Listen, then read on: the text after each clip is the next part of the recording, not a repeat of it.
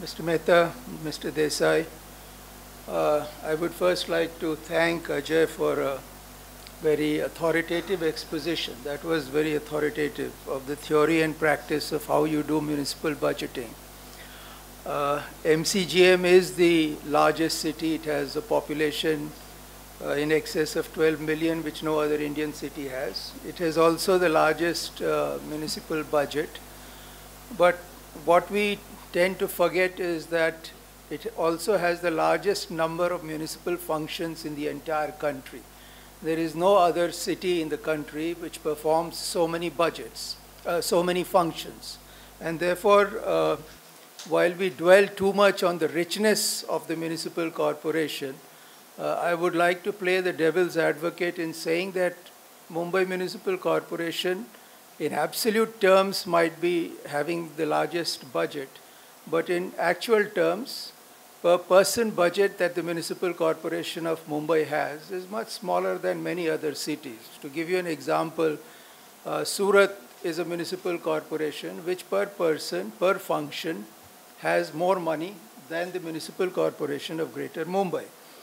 In fact, even if you don't compare it with other cities, if you just break up the budget of the Municipal Corporation of Mumbai, 24,000, 27,000 crores, which Mr. Mehta mentioned, and 12.44 million population, it comes to about 22,000 rupees per person per year. Broken down into per month, it is about 1800 rupees, and broken down to per day, 60 rupees for all functions per person that the Municipal Corporation of Greater Mumbai has.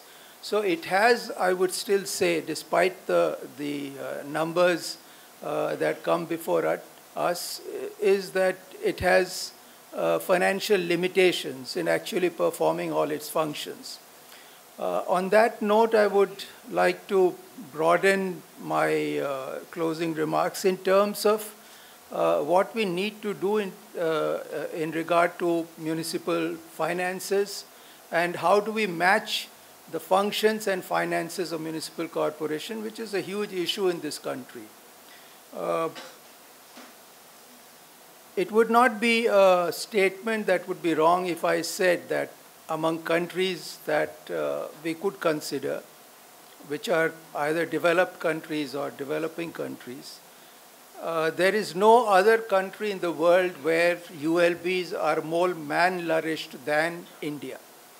Uh, in the US, of the total revenue that the uh, US government uh, collects, the revenue that goes to cities is about 15%.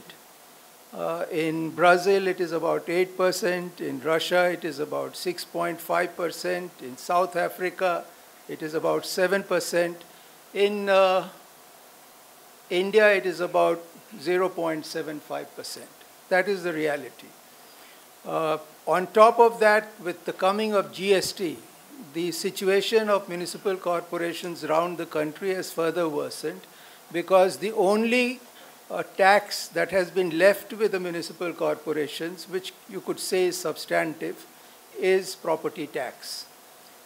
Uh, Mr. Mehta told us that property tax fetches the Municipal Corporation of Greater Mumbai about 22% of its revenues. And that is, that is uh, quite representative because around the world, even in rich countries, there is no country which can fetch more revenue in percentage terms than 25 to 30% of its entire expenditure. Which means that if you put all the revenues, user charges, fees, penalties, etc., all together, there is no city which can, on its own, get more than 50% at the most of the expenditure that it requires to perform its functions. And therefore, about 50% of the functions are what we can call in India are mandated functions, but they are not finance. So they are unmanned, they, they are non, uh, what you could, what you could uh, say is unfunded mandate. You have the mandate to do those things, but there is no money to do that. Now that's the overall situation and therefore when we crib most of this time that the cities are not performing, the crux of the matter is that it doesn't have the money to perform. Forget about the governance problems that are there. They are there, but they are there at every stage. They are there at the city level, they are at the state level, they are at the central level. We are hearing about them all the time. Uh, so if we set that aside, uh, even if the municipal corporations were to function with great efficiency, with good governance, still they would not be able to perform more than 50% functions.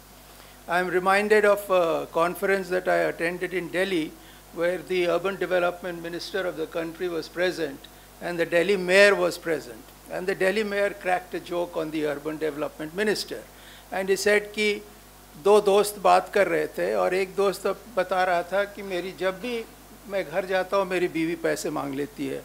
कभी बोलती है, भाजी के लिए पैसे दो। कभी बोलती है, साड़ी के लिए पैसे दो। कभी बोलती है, चावल के लिए पैसे दो। तो उसने कहा, ऐसा क्यों करती है? तुमने कभी पूछा नहीं? मैं क्यों पूछता? मैंने कभी पैसे दिए ही नहीं। So this is the situation that if you're not going to give, uh, share the, the revenues of uh, the center and the state with the cities, when cities are expanding, more and more people are going to come into living into cities. Every census that is happening is showing us that the percentage of uh, people living in cities is going up. It was 13% uh, around independence. It's now about 31%. And as development happens, more and more people will come to live into uh, cities. And therefore, the amount of sharing of revenue that should happen from the center and the state has not happened. And it's a key aspect which citizens should be aware of. This is not merely an academic exercise here, what Mr. Mehta is also doing is that he is taking citizens into confidence and telling them that this is how the city runs.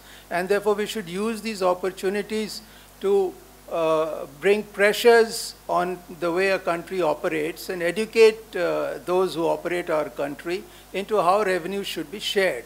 Uh, and it depends, our entire life depends on, on cities and the city administration, and they need to be funded properly. Uh, we did uh, an amendment some years back into the Constitution. We wrote the 74th Constitutional Amendment, which uh, formulated what they call the State Finance Commission. And the State Finance Commission was supposed to do this job, uh, to find out what are the functions that are to be performed, what is the money that is required for performing those functions, and accordingly, the states and the center through the Central Finance Commission and the State Finance Commission were supposed to pass monies to the, to the cities. But that formation does not seem to have had any impact and the situation has uh, not really improved after the formation of uh, the State Finance Commissions.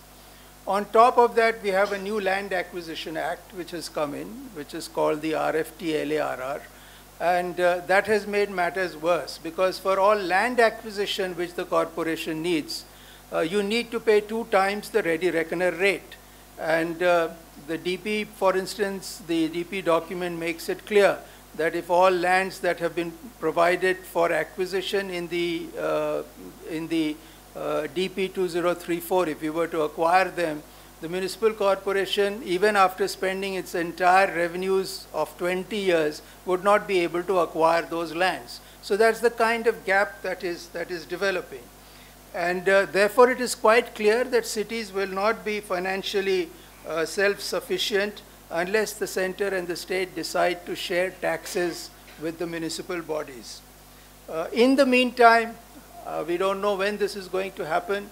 The cities will continue to, uh, to strategize for themselves. Uh, they would have to plug every loophole that is possible, get as many partnerships as possible, use their land to raise resources, dig into the reserves as Mr. Mehta is doing to do major projects. So uh, it's not a very easy time uh, uh, in front of cities in this country in the future. It's going to be tough. Uh, we will have a lot of opportunities to grumble most of the time. Uh, things uh, will not always be in order. So don't keep cribbing all the time. I think we need also to shout that you, you have to fix the house and you have to fix the money so that the municipal corporations are able to perform the functions that uh, they are required to perform. So uh, I hope I've done my devil's advocate role properly. And on that note, I would like to close my remarks and uh, request Saili to offer a vote of thanks.